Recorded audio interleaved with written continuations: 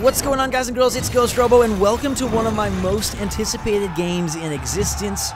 This is For Honor. For Honor is freaking fantastic. I played the game at E3 2015, played the game at E3 2016, played the game at PAX Prime 2015, and recently I got to see a whole lot more of the game. I sent my good friend Gabe to play it at Ubisoft up in San Francisco. He brought back footage, he brought back knowledge, and then I've been immersing myself in all of the new info because there's a lot of it.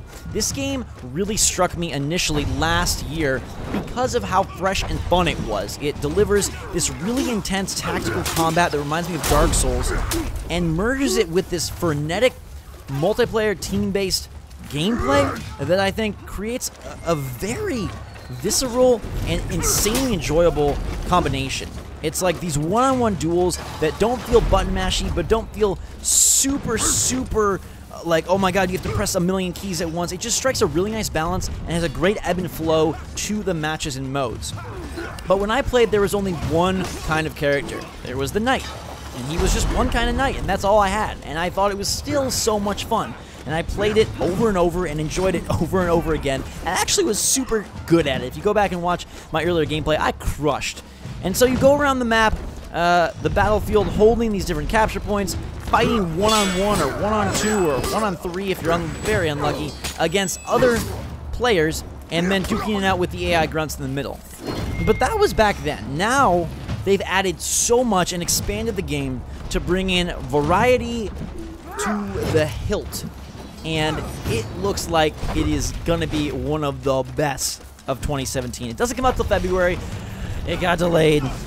Well, not really. Never had a date, but I thought it was coming this year, but now it's coming 2017. But it's okay because it looks like they're using that time to really uh, fully flesh out and express the idea of this game. They added single player, uh, which you got to see from me back in June, and now you're getting to see samurai gameplay and later Viking gameplay uh, in really, really a, a, way that shows the variety uh, of For Honor. Because now there are 12 heroes spread across three factions, and this creates super cool and interesting battles and dynamics where you've got different styles of fighters going after each other. And I talked a bunch to Gabe, and I really uh, asked him, you know, did it feel balanced? Did it feel like these different heroes could compete with each other in a way that was fun and equal. And he said absolutely, they've nailed it. He enjoyed every mode and match he played just like I did. And they announced a bunch of new modes too. So now there is this Dominion mode, which is the one I played where you're going to capture these points. There's a Dominion elimination mode where you basically only have one life. There are one versus one modes, uh, which sounds super cool, and Gabe said was his favorite. And there's a two on two, which is my personal uh, most looked forward to because I like teaming up with either my brother or a good friend and doing work. Like imagine pairing a Viking with a samurai or a samurai with a knight, and you don't just have to pick between those because now they've added these individual heroes amongst the classes. So I'll throw the graphic on the screen. You've got Peacekeeper, Warden, Conqueror, and Lawbringer in the Knight faction. You've got Orochi, Kensei, Shugoki, and Nobushi under the Samurai banner, and you've got Berserker, Raider, Warlord, and Valkyrie slain forth from the Viking ship. And they all look different, they all play different, and they've added new moves, they've added a whole lot of variety uh, to really spice things up and keep things fun beyond the first few hours. So each faction, Viking, Samurai, Knight has four heroes that fit into four classes. There's Vanguards, who are sort of the average beginner, well-balanced heroes that are good uh, offense and defense. There's Assassins, who are offensive specialists. They're great at duels, uh, but they can quickly get overwhelmed. They're not the guy you want holding down a point. They are more the ones to roam around, get in there, kill somebody like a specialist. There are heavies who do hold down points very well. They can tank it out against NPCs or against human enemies. And then you've got hybrids who are a mixture. They wield longer range weapons, and they kind of fit in as uh, an in-between. Now, like I said, I've only played one, but knowing that there's 12 options is super exciting, and they can be guys or girls, which I think is a nice uh, thing in 2016. You're seeing right now gameplay of the Kensei uh, Samurai, who Gabe really, really enjoyed. Uh, back at E3, I thought the Samurai were the coolest looking guys, and so it's no surprise that that was his favorite. Later on, you'll see a Viking Raider and a Knight Warden. Uh, and I believe the Knight Warden is who I played uh, in all of my time with the game. So here is this Viking Raider, um, and Gabe wanted me to make sure to let you know he's got a super sweet move. They're playing on PS4. If you hit square, uh, he will do this epic move where he picks up his opponent, throws him, and then he's open to an attack. And they've also added some balancing uh, mechanics here. So when you get double teamed or triple teamed, before you would just get absolutely demolished. Now, though, there is a revenge meter that fills as you're getting, uh, you know, doubled or tripled. And if that builds up, you basically unleash a berserk revenge mode where you no longer get stunned and you can just attack, attack, attack without having to worry about animations or any of that jazz. I think that sounds good, and it's a great way to sort of balance the fight. I like the fact that it's not across the entire uh, match, but there's that move, by the way. That's sick. Uh, boom! Look at that hard hit. Go, Gabe, go. I wish it was me, but I'm so glad that you brought this footage to us. Anyhow, uh, that just got me really excited. um, so I like that it's not across the whole battlefield. You don't want unfairness. The, the critical thing here is that it feels balanced, and uh, every character is, is beatable with the right skill, with the right team composition, with the right strategy. They do a nice job of swinging the battle back and forth. In this Dominion mode, it's first to 1,000 points, but if you get to 1,000 points, you must eliminate the entire team. They basically lose all of their tickets and go down to one life only.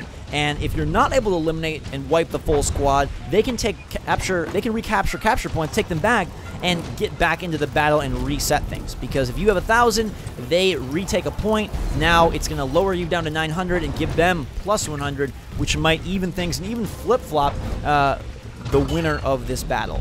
Uh, Gabe also wanted me to let you know that now your abilities that you're working to build, almost like kill streaks or perks, uh, they carry over across deaths. Previously they didn't, and now that they they've refined things, they carry over. Uh, so you continue to build them even if you're dying, so that a player who is kind of sucking will still have some. Uh, some fun and an ability to gain an upper hand as the battle continues. Um, looks like UI-wise and interface-wise, they've also spiced things up uh, quite a bit, and it's a great-looking game. Like, I played single player, I played multiplayer. It looks good across both. There really isn't much, uh, as far as I've seen, dip. And so it's nice to see that even with all these players uh, and all this action going on, it still looks very next-gen and has a really nice weight to it. I think the way that For Honor controls is absolutely critical to this game feeling like a AAA top tier title and not just smash them, bash them, beat them up. Because it easily could, but the weight and the timing they've got nailed down with the weaponry and the different uh, factions being able to have slightly different tempo it adds a little bit of that sort of rhythm and a little bit of that really good feel when you've got a weapon uh, that that weighs as much as it should. It's the same with guns in, in first-person shooters. You don't want things that are really light and pew-pewy. You want things that have heft to them, and they sound like they do. Um, and For Honor does that with Melee, and I like the fact that they're able to deliver a really compelling Melee-driven experience uh, in the multiplayer space. That's something that I haven't had one that I really liked. I know there have been games like that, but there hasn't been one that was really for me, and For Honor is definitely it. Um, if you're not familiar with the game, hopefully you are by now, uh, you can aim left, right, up in these different directions to uh, sort of go rock, paper, scissors with your enemies and try to take them out. You don't want to be aiming uh, the same way they're blocking. You kind of have to counter. Um, but there's other moves that will help you to stun them. There's moves that will help you to open them up. Uh, and there's ways for your team to sort of team up to really take people down quickly. Now, uh, I'll have footage of that 1v1 duel mode later, and that is going to really blow your minds because I think that's going to create some super intense streams and some super great videos where we can just set up like a queue of people and like bring it on. Let's see who can beat me in 1v1 duels. It's a game I want to get good at, and I don't have a lot of time to put into individual games because I play so many and I got to make so many different videos. But this is one that I think is really going to suck up a lot of my, my playtime because it has a really just a nice sense of satisfaction when you do well. And that was the case in single player and multiplayer, although it's definitely greater in multiplayer when you can turn to your friends or, you know, cheer with them across the internet or text them or whatever you want to do. Uh, it's pretty darn cool. There's also now a, a drop shot, a one-shot kill from above, apparently, that's super sweet. And I like the fact that they have expanded the moveset beyond just a typical light and heavy strike. You really feel like a, a fleshed out warrior now uh, who has a lot at his disposal, his or her disposal, just like in Call of Duty or something of that sort. You'd have, you know, your primary, your secondary, your grenade, all that. Uh, I like that they ha have done that. Um, I, I really can't say enough good things about For Honor. Every time I played, every time I've seen it, I just get more and more excited for it. The initial trailer, I was like, what, what the heck? But ever since then, like, it is so dang good. And I cannot wait for February, and I'm so glad to see that they're using the time uh, to really build upon what they, you know, their vision and, and, really achieve it. And rarely does a game get rave reviews uh, from everyone I've talked to, but whether it's been Twitch streamers, YouTubers, PR people, just random fans, uh, everyone that plays For Honor comes away like super impressed and ready to to buy it, and that's a good thing. There's you know a lot of spectacle and showmanship in games these days, but how many games do you put in someone's hand and they just walk away like, dang, that was super fun? And that's what For Honor delivers. Now we're on the Knight. This is the Warden. Uh, he's more of the straightforward, uh, you know, average middle ground fighter, but he's still fun to play. Like I said, this is the guy I played in multiplayer, and I had a blast with it. Uh, now, some people may be worried that the NPCs are going to draw away and deter uh, from, you know, the intensity of the battle, but they don't. They really just kind of stand there and give you something to do as you move through the battlefield. Um, and it's it's not something that's going to really you know like waste your time or dilute the experience in any way. I like the fact that we're seeing new maps. Uh, I like the fact that we're seeing weather effects and new environments. I'm curious what all the different abilities are going to be, and I'm curious how team composition is going to go. Gabe was saying at the event, some teams tried to do all samurai or all Viking or all knight, and I'm curious if like that's going to work well. Like, what if you have one of every class? Or what if you have one of every class across three factions? Like, uh, you know, uh, a vanguard from the knights, and then an assassin from the samurai, and then a heavy from the Viking, or what is going to be sort of the winning formula. And hopefully there isn't one. Hopefully there's multiple. And hopefully your skill set and your preference of speed or strength or in between uh, really help dictate how you can be successful. Uh, and it, it's really a skill-driven game. That's what I want. And I want there to be a lot of variety.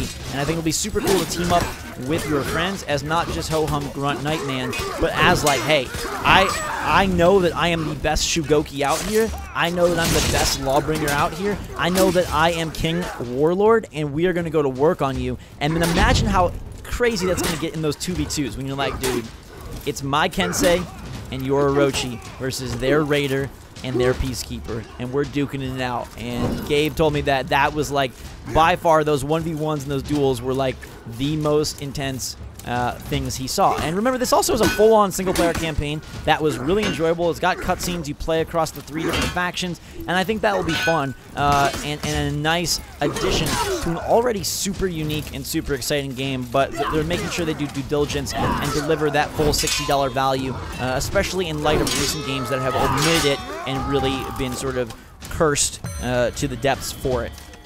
So that is For Honor. Hope you guys are excited for it. I am super pumped. I hope I get a chance to play it again uh, before launch because I really, really miss it. As silly as that is, this is one of my like favorite games I've played in the last two years, and I am so pumped that it's coming out now in what five months? Sounds like a long time, but the way life flies, it'll be here before you know it, and we will be duking it out as Viking, Samurai, and Knights Hopefully you are pumped. Hopefully you're excited. Hopefully you enjoyed the video. Again, shout out to Gabe. Thank you to him for helping us out with this. Shout out to Ubisoft for uh, making sure I got some good footage of my most anticipated, one of my most anticipated uh, games in existence. And thank you to you guys for watching and being a part of our awesome channel, which will soon feature For Honor. Until that time, though, guys girls, thanks so much for watching. I'm Test today and enjoy yourself. I love you. Couldn't do this without you, so thank you for being there. Thanks again. Drink some much chocolate. We'll see you all later.